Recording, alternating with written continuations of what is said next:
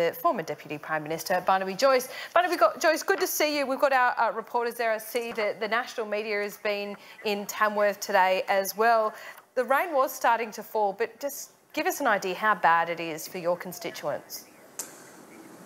Okay, Laura. Generally, um, people still talk in imperial measures when they're talking about rain. We've had about four inches here in Tamworth, except for today, four inches for the year. Um, a desert gets about um, eight. So uh, it's like you've got a normal environment and turned it into a desert environment. When I drove up to see my parents before, so I drove back, there are gum trees that are dying. They are dying because of lack of water. Gum trees are designed for Australia, but they're not designed for the middle of a desert. And if you have no water, they die. We've got creeks that are just completely, they're not, there's no holes, there's no water, just rocks. That's all there is. And this is, uh, this is why it's not only its length, but its intensity. And today, with it raining a little bit, we've got 10 millimetres of rain, so that's about a third of an, third, uh, third of an inch. Mm. Um, you know, that's good, but that doesn't break the drought. Well, how far are farmers away from having to, to destock? You know, how dire is it getting? Are some just willing to walk away from it altogether? Well, you can't walk away, Laura, because the bank manager won't let you just walk away. You've got debts to pay. Um, you've got responsibilities to your family. You can't just walk off, and that's why we, you know, it's so important for us to explain this to Sydney and explain this to Melbourne. It's it's not like you can just close the door of the shop and say, oh well, we'll come back when the when the customers come back. Mm. You can't walk away because there's stock there. You've got a responsibility to look after them. You've got a responsibility to look after the plant and, and the fences and the house and all the bits and pieces that make up that property. And you've got to pay your rates and you've got to pay your insurance. And you've still got to eat somehow. You've got to eat, you know, somewhere. There's got to be some money coming in from somewhere. You've got to still make your car payments, still got to put some fuel in the car. You, you're living out a, on a property. You're not living in the middle of town. You can't get public transport. And these, this is why there's you can't just walk away. You have to yeah. somehow get through it. Well, that's why we've seen a big response from both your government and the New South Wales uh, government as well. But there's been some criticism from some farmers that it's come too late. They're already gone to the, the wall. What, what do those farmers do? And is it a valid criticism? Well, you know, I, I, in any package, there are, there will be at times valid criticisms, but you can't make that the enemy of the fact that you um, are moving towards a vastly better outcome. When we started, for instance, with Farm Household Allowance, and I commend the federal government for the huge step they took uh, yesterday, but when I started with that Farm Household Allowance when I was a minister, we had 367 people who had access to it. By the time I'd finished, there were well over 7,000 people who got access to it. And yesterday, they changed the threshold again so even more people could get access to it, as well as in creating a lump sum payment in there. And I think you know, we have to give credit where credit is due. That was a huge step um, and it comes at a big cost.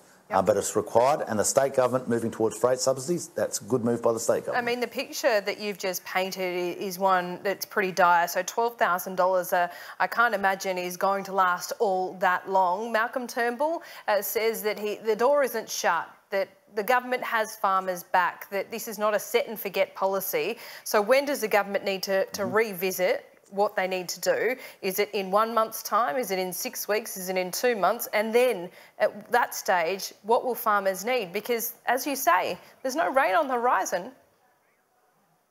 Yeah, well, uh, you have to, it's like a, a, fire, it's like any natural disaster. This is a natural disaster. You, you have to monitor it day by day. You don't monitor a cyclone and say, oh, well, we'll be back in three or four weeks and see how you're going then. You have to monitor it day by day because it, it's a dynamic environment. It changes day by day. But I tell you what people do want to see is they, people always say, oh, you should be better prepared for drought. And I agree, you should. But to be prepared for drought, the essence of a drought is lack of water. That is what a drought is all about. So anything that can store water mm is a huge advantage. So when so do you want to see these the dams built term, then, Barnaby Joyce? Yeah, I mean, I, I, know, but I always seem to have to explain it as people say, why are you being on about dams? Because if you've got big dams, you've got irrigation, you've got irrigation, you've got capacity to get to grow loose and get bales of hay sure, to but the you cattle. know that's the you've easy argument. Where these dams are going to be built is the hard one. So where should they be built? Yeah, well, I can show you one right now. You go out to Dungowan, you can go to Mole River, you can go to, to Apsley, you can go. Uh, so, umpteen, Nathan Dam, you can go um, to uh, O'Connell, O'Connell Diversion up at Julia Creek.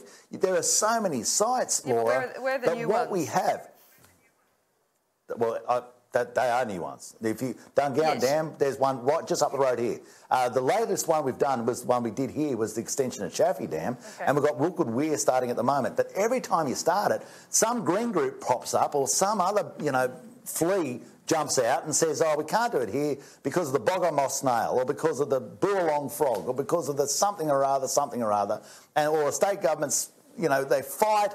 And then nothing gets done, and get complete inertia. Drought comes along, everyone goes, "Oh, where's the water?" It doesn't help farmers at the moment, but is there a valid conversation to be had here about climate change? Yeah, sure, but what you said at the start is exactly it.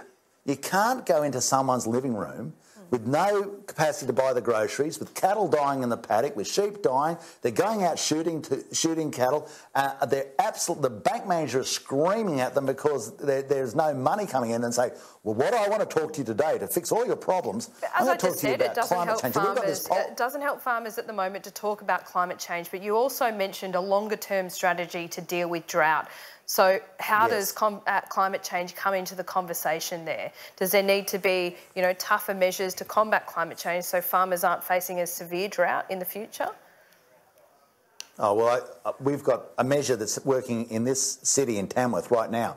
We extended Chaffey Dam and now we have water for Tamworth. Otherwise, we would have run out. Now, that is dealing with the vagaries of the climate and the, the, the more sort of uh, But that's not a tempestuous nature. preventative climate change measure. I'm talking about. Ah, yes, it is, because so, yes, but when we talk about getting didn't have it, emissions down, though, uh, that's what I'm getting to. That's the nub of my question. Okay, but it, we, let's be honest, Laura. We can get emissions down in Australia. Do you honestly believe that is going to have a three fifths or five eighths of you know what difference to the climate? Like, do you honestly believe what we I- I'm do in Canberra you. is going I- to I'm change the climate? I'm asking It- you well, I'll what it would mean, what it would not- mean for our farmers. It's not. It's not going to anything. Any policy we do, it's more of a a, a sense of commitment to a wider purpose. It'll have no difference on the climate whatsoever. Zero, zip, nothing. so you don't think there's What anything that can make- be done for farmers in, on the climate change side and preventing uh, climate I- change? I if I thought that there was something we could do in Canberra, that honestly, that we'd all go into that big, wonderful chamber and vote on an issue that would actually change the climate and make it wetter, then I'll move the motion and we'll do it. But it's not. It, what we are doing there is people saying, I, you know, this is a tiny, tiny, tiny fraction of a fraction of a fraction, and somehow that's going to affect global climate. It won't. I understand the premise of the argument. What I get frustrated about is people believe or they peddle out there that that will somehow make it rain or make it colder or make have it you- warmer or make it anything. It won't. I mean, this is the number one issue for your constituents, this drought at the moment. Have you spoken to Malcolm Yep. Turnbull directly about what you want to see done here? Uh, yes, I've spoken to Malcolm uh, quite some time ago. In fact, in the joint party room, I, I've, I've stood a, a number of times within the last, last half year just saying, guys, this is going to be the number one issue. If you don't deal with it now, it's going to bite you later on. It is the number the one issue. It is, here it is. at the moment with him that you can talk to him one on one, give him a, a call from uh, Tamworth and say, "Come to my electorate, come and see what our, our farmers are suffering." Uh, look, I haven't, I haven't spoken to him recently, but to be quite frank, the last time he gave me a call from uh, the Upper Hunter where he was uh, to let me know he was, he was there and, and talking to people. I, you know, I, this is bigger than personalities. This is all about trying to look after the Australian people. And I've not only left a message for uh, Malcolm or corresponded with Malcolm, I've also corresponded with Bill Shorten in exactly the same way. I've said, guys, this is something we have to work together. Okay. Um, this is something that is bigger than all of us. Good to hear. Barnaby Joyce, thanks so much for your time. Appreciate it. You're welcome, Laura. A quick check of tomorrow's weather cold with showers and highland snow across the southeast. A dry day for the rest of the